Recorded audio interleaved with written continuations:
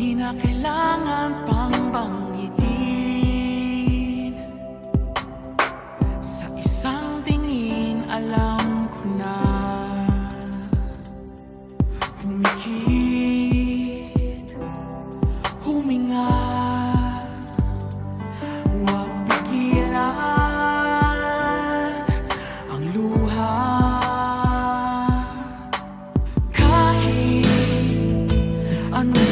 mangyari Sasamahan ka magpakailanman. Sa hirap at sa ginhawa